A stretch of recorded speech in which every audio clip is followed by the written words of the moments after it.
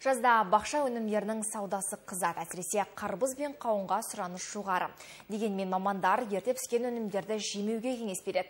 Ал сатушыларда өнімнің қауіпсіздігін растайтын құжаты болуы тиіс. Анықтама токсикологиялық зертханада беріледі. Тұрғындар бұған мән бермеген жағдайда нитратпен улану қаупі бар.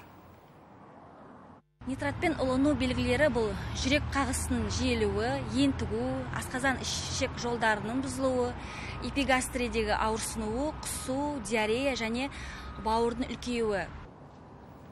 Сонымен қатар жазда батулизм тақырыбы өзекті. Бұл тамақтан уланудың өлімге әкеліп соғатын түрі. Биыл аймақта мұндай дерек тіркелген жоқ. Дегенмен мамандар алдын алу шараларын түсіндірді.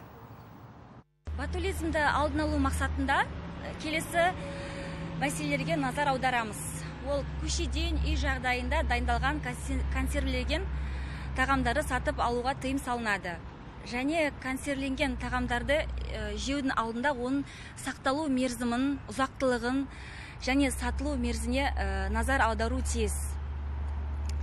Және көкөністерді жемістерді және саңырауқұлақтарды консервілеу кезінде оларды мұқият жуып термикалық өңдеуден өткізу қажет.